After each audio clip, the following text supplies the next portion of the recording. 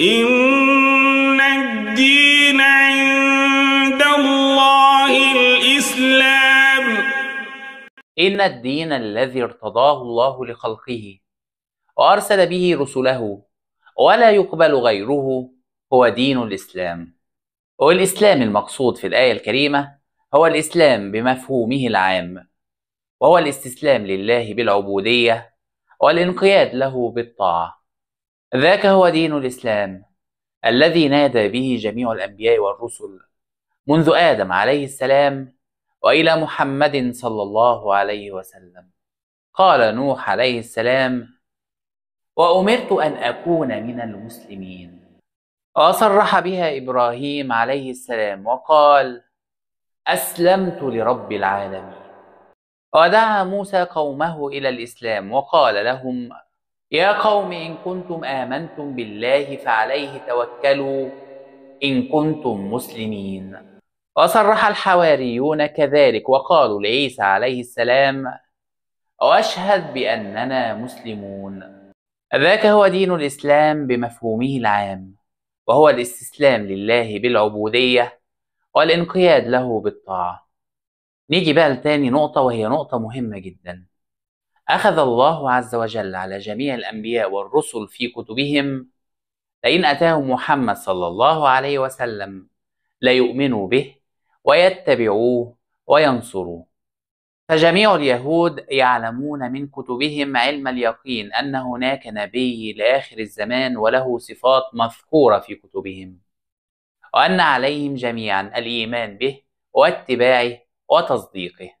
وكذلك النصارى يعلمون من كتبهم أن هناك نبي لآخر الزمان مأمورون جميعا بالإيمان به واتباعه والتصديق به. فلما بعث النبي محمد صلى الله عليه وسلم وعرفوه انقسموا إلى فريقين فريق مؤمن وفريق كافر.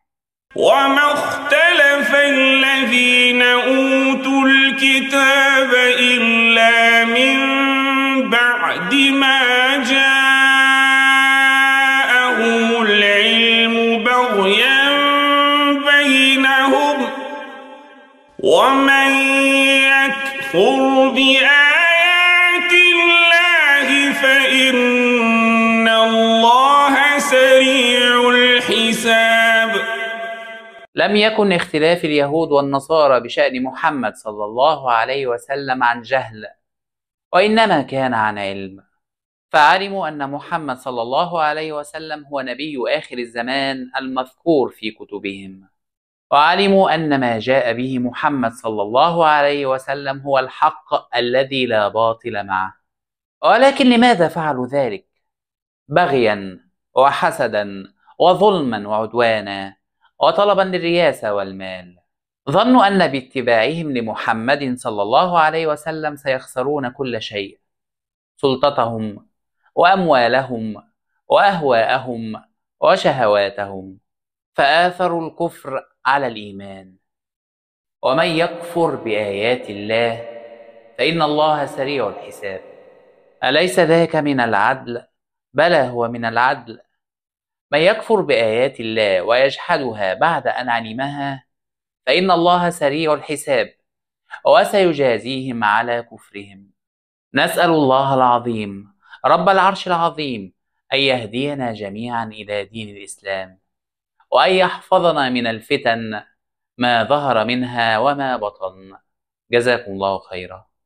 إن الدين عند الله.